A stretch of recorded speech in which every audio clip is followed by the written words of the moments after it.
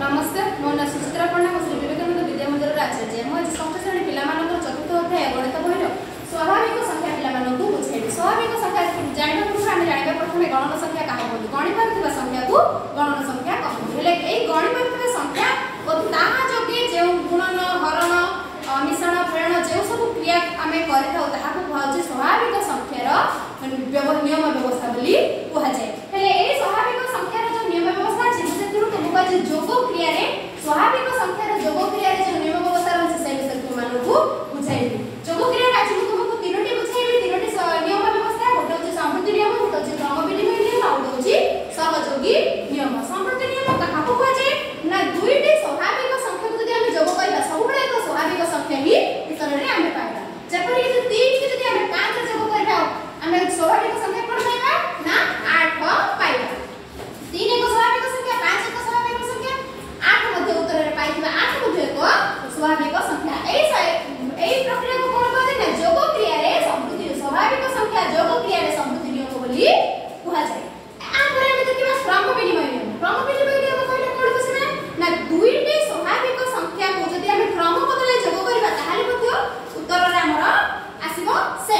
até que nada.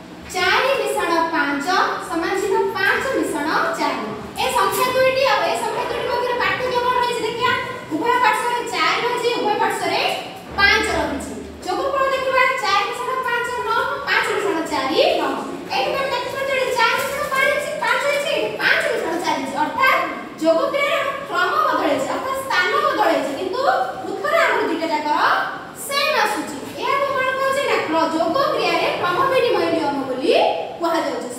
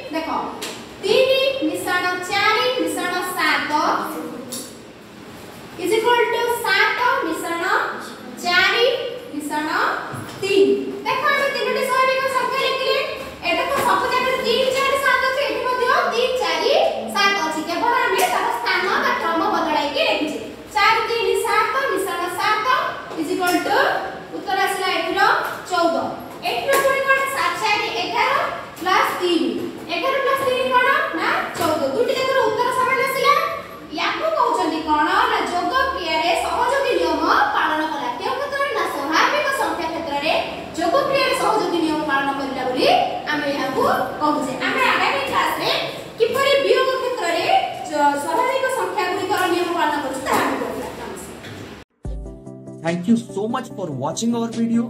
Please don't forget to like, share, subscribe and press the bell icon for latest updates on Swami Vivekanand ideologies and our Sri Vivekanand Vidya Mandir group of institutions.